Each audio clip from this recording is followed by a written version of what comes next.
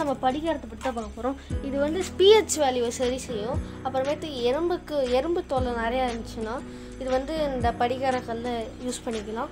இது வந்து வாங்க இப்போ நொறுக்கி எடுத்துக்கலாம். இப்போ வந்து மிக்சியில் அரைச்சி எடுத்துக்கிட்டாச்சு. இப்போ வந்து நம்ம வந்து நம்மளோட அரைச்சி எடுத்துக்கிட்டாச்சு.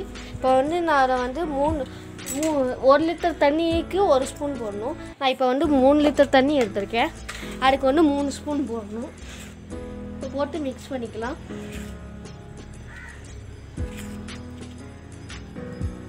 நல்லா நைஸாக வச்சுக்கோங்க அப்போ தான் தண்ணியில் கரையும்.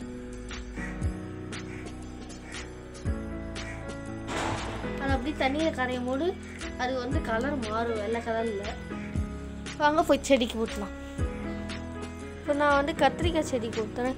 இந்த கத்திரிக்காய் செடியில் எறும்பு தொல்லையும் நிறையா இருக்குது அப்புறமேட்டு பிஹெச் வேலையும் கம்மியாக இருக்குதுன்னு நினைக்கிறேன். ஏன்னா பூவே அதிகமாக வைக்க மாட்டேங்குது. பூ வச்சாலும் கொட்டிடுது. இப்போ வந்து ஊற்றியாச்சு உங்களுக்கு இந்த வீடியோ பிடிச்சிருந்தா லைக் பண்ணுங்கள் ஷேர் பண்ணுங்கள் மறக்காம கம்மியாக சேனலுக்கு சப்ஸ்கிரைப் பண்ணிடுங்க. தேங்க்யூ ஃபார் வாட்சிங் திஸ் வீடியோ